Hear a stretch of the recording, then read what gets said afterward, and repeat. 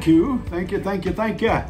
Glad to be back on the air with you one more time. Very short thought, the first one. Got a couple here for Tuesday. Freedom was and is not free. Someone paid for it.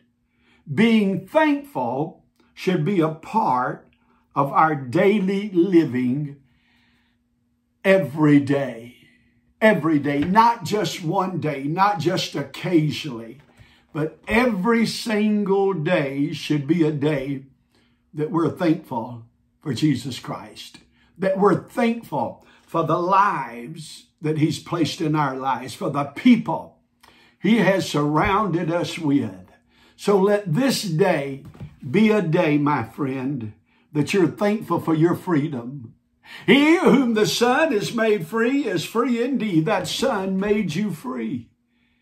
Through His blood, through His grace, through His mercy, you walk as a free man.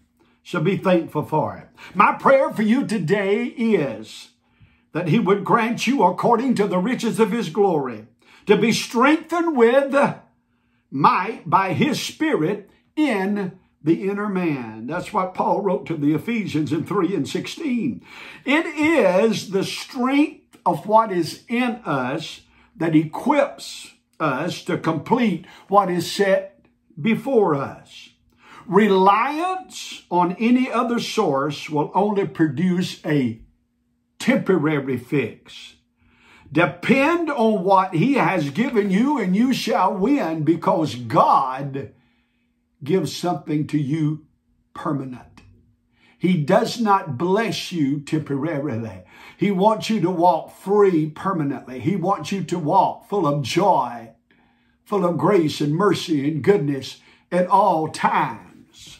You have that abiding within you. We often quote it, but it is so worth being quoted. Greater is he that is in you than he that is in the world. Doesn't matter what's going on around you, God's got it. God's got it.